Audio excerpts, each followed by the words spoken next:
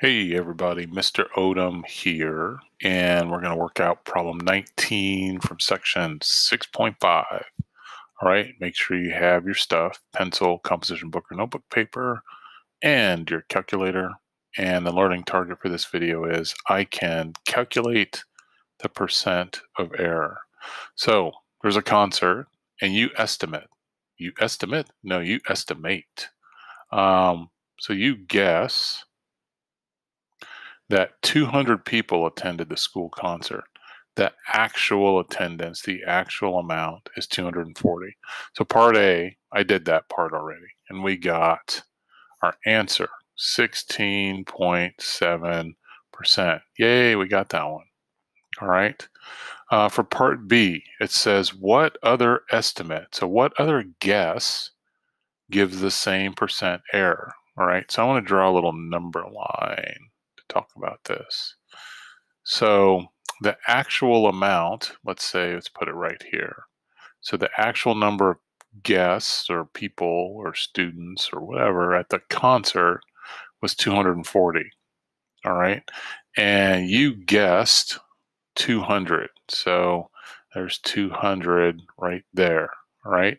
And the difference here, the distance uh, between these two numbers is 40, okay?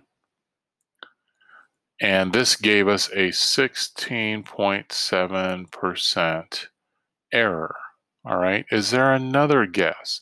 If I look in this direction here, if I keep going this direction, and I make guesses, let's say I guessed 180 or 100 people, this percent of error is going to get bigger. It's not going to be the same. So I can't find another value going to the left? What if I go to the right? Can I find another value? Well, if I guess 250 people, then remember my numerator is going to be 250 minus 240, which is 10. I need the numerator to be 240. So I know that I need to pick a number greater than 240. So when I calculate the percent of error the amount of the error divided by the actual amount, that numerator needs to be 40. And I know that this number is going to be smaller, so it's going to be over here, 240.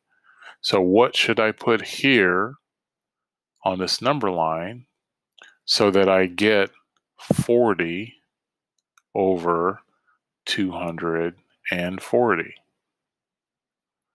Because if I get that, then my percent of error again will be approximately 16.7%. Right? so all I have to do is I have to go this direction. 40 students. And where do I end up? 280. So I put that in there. And 280 minus 240 is 40. And so notice I get this same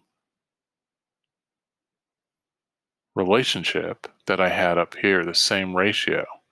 40 to 240, here was 40 to 240. And that gives me the same percent of error. So remember, percent of error is a guess. And you can guess you can guess high or you can guess low. All right. Um, or you could guess the actual amount. Then your numerator would be zero. And your percent of error would be zero percent, which means you got it you you hit you hit the nail on the head. You guessed correctly. Okay, so hopefully that was helpful for you guys. Um, this is Mr. Odom, and I am out.